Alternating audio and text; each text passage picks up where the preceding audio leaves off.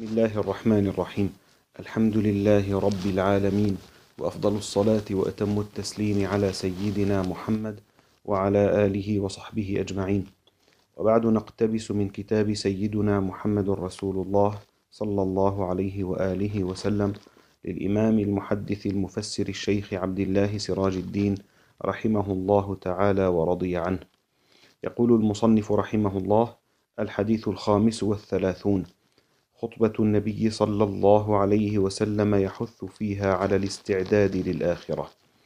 عن ابن عمر رضي الله عنهما أن النبي صلى الله عليه وسلم خطب يوما فقال في خطبته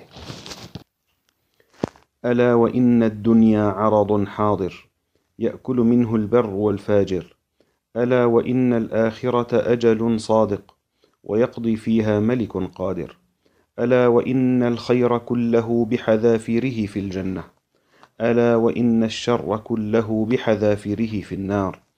ألا فاعملوا وأنتم من الله على حذر واعلموا أنكم معرضون على أعمالكم فمن يعمل مثقال ذرة خيرا يره ومن يعمل مثقال ذرة شرا يره والحمد لله رب العالمين.